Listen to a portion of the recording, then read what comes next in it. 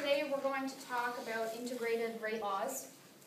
And the first thing that we're going to start off is with a first order reaction. What we've done up to this point is that we've defined rate so far as the change of concentration of a reactant with respect to time, which is the negative if the reactant is disappearing, and it becomes a positive if we're talking delta, let's say B, if B is our product over delta T, is equal to K times A because we've defined A as having an exponent of 1 at the top here, which means that our reaction is first order. This is called the differential rate equation, and if you recall from calculus, when we talk about the rate of change, we perform a differential equation, a differential operator, and we get dy by dx. And this is exactly what delta means in this case. If we perform a calculus operation, the delta actually means the d. So it's the rate of change of A with respect to time. If we integrate this value so that it's relevant over a wider spectrum of different time values, we end up getting the integrated rate equation, which we'll, we're not going to go through the actual calculus through it, just as long as you understand that this is how we get this equation. We end up getting ln of A at any time t minus the ln of A naught, the zero stands for naught, which means initial concentration of A, is equal to negative kt. If we rearrange this so that we get ln of a at time t equals the negative of kt plus the ln of a naught, if you have a look, this actually resembles y equals mx plus b, which is our equation of a straight line. And if you were to graph this equation of the straight line, the m, which is your slope, is the negative of your k, negative of your rate constant, t is uh, your x value, so you'd be graphing the ln of a at t as your y versus t, which is your x, and your y-intercept is the ln of a naught is would be the ln of the initial concentration of a at time equals zero. So if we are to plot, for instance, the concentration of A, let's pretend that the concentration of A is CH3NC, and in this case, you see that you end up getting a curve. Once we take the ln of this first order reaction, we get a straight line. And it's a lot easier to do the math and figure out everything that we need to figure out in order to solve problems if we're dealing with a straight line versus a curve. So if we rearrange uh, we get the equation to look like this. Sometimes we end up rearranging based on easier math operators to get the right answer.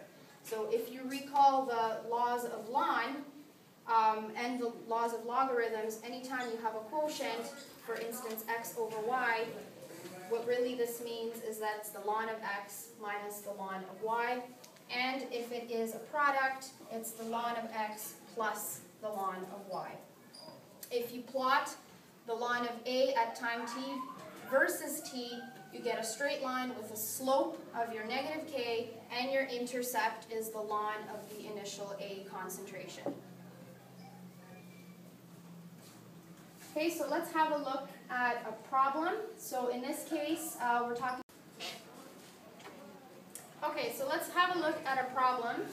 So this word problem allows us to use the first order integrated rate equation. So the question is, the first order rate constant for the decomposition of a certain insecticide in water at 12 degrees Celsius is 1.45 per year. Year to the negative 1 means per year. A quantity of this insecticide is washed into a lake on June 1st, leading to a concentration of 5.0 times 10 to the negative 7 grams per centimeter cubed. Actually, this should be of insecticide, not of water. Assume that the average temperature of the lake is 12 degrees Celsius. And this question we actually took from page 588 in the Brown AP Chemistry textbook.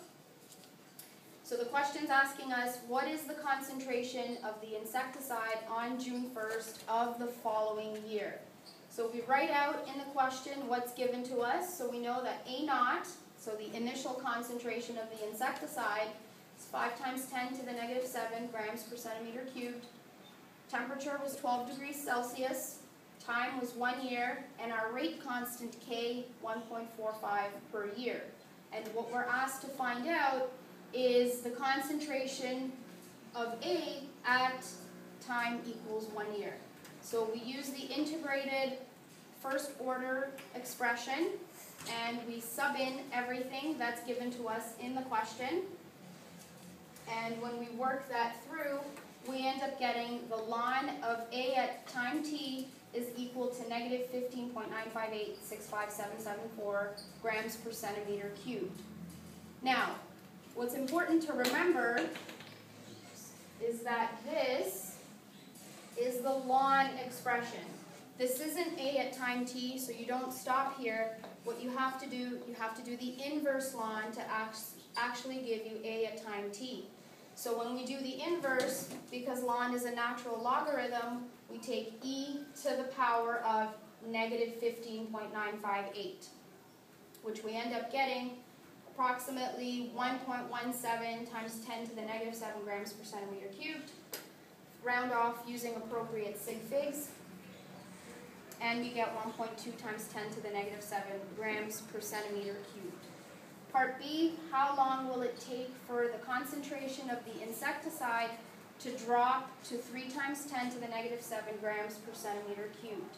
So in this case, um, I used this form of the integrated first rate law equation because I can easily then solve for t, because that's what I'm asked to figure out.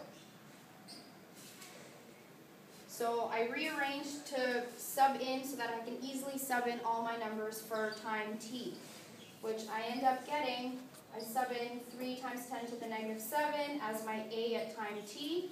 My initial concentration is in the denominator, um, times 1 over negative k, which gives us approximately 0.35 years.